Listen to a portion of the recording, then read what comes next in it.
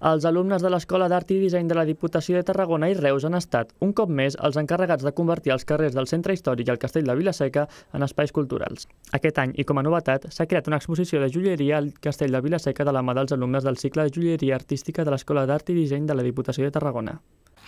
I la gran novetat d'enguany és eh, aquesta exposició que hem,